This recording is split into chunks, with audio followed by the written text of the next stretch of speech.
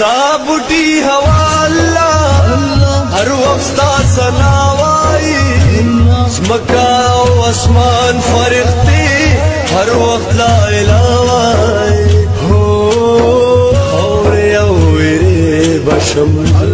لره کدا ستا شما غواړم مغفرت رب غافل او کا خطا شما زدیم بنده रहमान रहीम या रब्बिल